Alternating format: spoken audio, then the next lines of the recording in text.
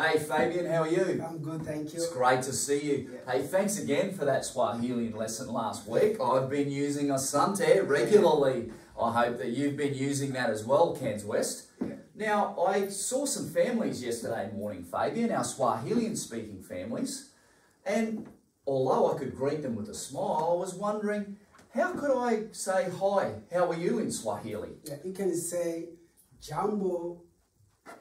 Jumbo, and how are you? How are you? Habari. Habari, Yeah, Jambo Habari. Jumbo, Habari. Yeah. Can we practice that, Cairns West? Jumbo, Habari. And Fabien, when the families respond and ask us how we are in Swahili, mm. how would we reply? You reply Mzuri. Missouri. Yeah. Did I pronounce that yeah, correctly?